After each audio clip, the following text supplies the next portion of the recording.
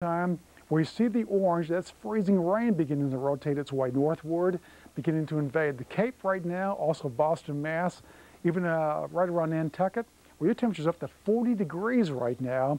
For the far southeastern corner of Massachusetts, it's all rain, where temperature's very, very, very mild.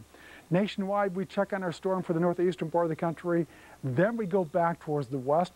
The storm that brought the rains to Southern California and Los Angeles during the day is now beginning to move out. This storm will begin to strengthen, by the way, during the next 24 hours. It begins to move on eastward. And again, watch out around Oklahoma City to Dallas. Winter storm watches have already gone into effect now for late Wednesday night and early Thursday morning. By late Thursday, Jackson, Birmingham, Atlanta, and early on Friday, you'll be looking at the snows beginning in your region too. But you can see during the next 24 hours, we'll focus our attention back towards the west. A real, real potent storm system likely to organize, then uh, cruise eastward rapidly during the next two days. Separate branches with the northern branch bringing down cold air from Canada into the central and eastern U.S., and then the southern branch or Pacific branch uh, bringing disturbances in from the Pacific along the southern tier of the U.S. When those two jet streams collide, stormy weather in the south results. Here's where the change comes in. Our current pattern is evolving into what meteorologists call more zonal, a typical west to east flow.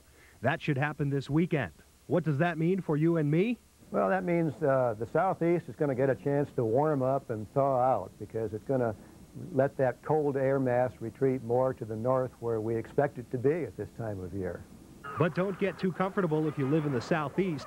Longer range forecasts suggest we may again see a split flow pattern sometime next week. For the Weather Channel, I'm Dave Liu.